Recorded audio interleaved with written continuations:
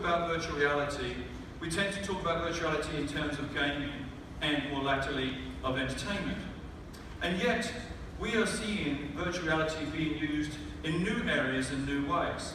Something we call VRAS, or VR as a Service. We're seeing virtual reality starting to be used for safety training. We're seeing virtual reality be used in CAD, in design and manufacturing. Uh, recently, the world's first surgery took place in London in VR. And also, more recently, the world's first legal case was resolved with a jury using VR. This VRAS, will power the success of VR into the future. But the other key area of VR, which is making a very real difference, is in medicine. And we are very pleased to be working with uh, a very esteemed gentleman using VR to treat PTSD. So with that, I would like to bring on stage my third guest, uh, Dr. Skip Rizzo, to talk about his work. Please give a warm welcome to Skip.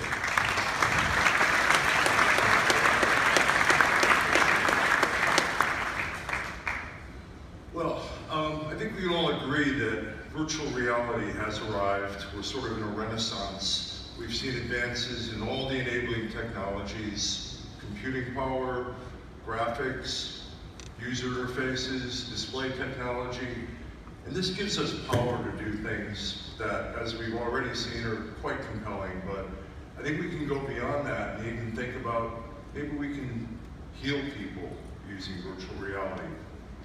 This isn't a far-fetched idea. In fact, kind of under the radar over the last 20 years has been like a scientific literature brewing where people have been applying VR clinically to address the needs of people with autism, anxiety disorders, post-stroke rehabilitation, um, oh, and PTSD, the area that we work in.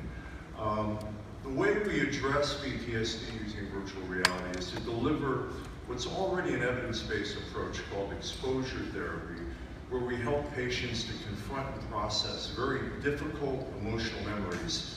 And typically it's done in imagination, but with VR, what we typically do is to create simulations. And I know it sounds very difficult, it sounds like why would you do this, but we create simulations of what people were traumatized by. And our work right now is focused on treating service members and veterans who have gone through the hell of war and come back with invisible wounds of war, things that people don't see on the surface but are brewing on the inside. And we help them to go back and confront and process difficult emotional memories within VR simulations of Iraq and Afghanistan. And what we've done at the University of Southern California Institute for Creative Technologies is to build out a 14 world simulation where we can take a patient, put them in a simulation that resembles what they were traumatized by, and a clinician can operate a control panel that allows them to, in real time, update and introduce features that add to the experience um, and make it more customized or relevant to the user's experience. Um, we don't throw people in the deep end of the pool. It starts off very gradually. But in the end, uh, the scientific literature has shown over the last 10 years of doing research with this um, that we can make a difference for folks, that we can actually significantly reduce PTSD symptoms and help people move forward in their life. And we're doing this now with civilian PTSD, and I don't know if you want to talk about that, but I think this is the step forward where we can start to think about using this technology in a pro-social purpose to really make a difference for people that, you know, that deserve our best efforts using the best technology. And uh, the Radeon Pro technology has given us, has enabled us the capability to create simulations that are credible and relevant for these folks and to update them in real time based on the user's ongoing experience. So I want to thank AMD for their support so far on this. It's been incredible. You, you guys are the first ones, the first big company to actually pay attention to this stuff. So uh, I'm very thankful for that. Well, Skip, you're welcome. Now, Skip, we are at SIGGRAPH 2016. The audience is interested in graphics. Can you explain a little bit the difference um, that the granularity of the experience and the graphics can make in the treatment?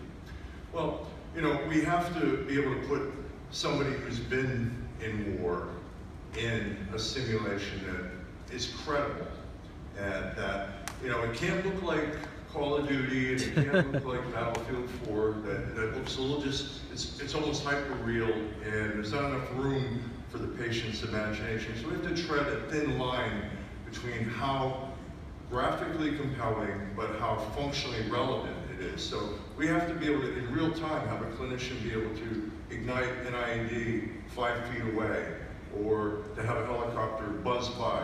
Not something pre-programmed, but something that you know you have to build around. And um, you know, it, it's kind of an art. It's the art and science of clinical care, and it requires requires the power of the technology that you guys are, are making available to us.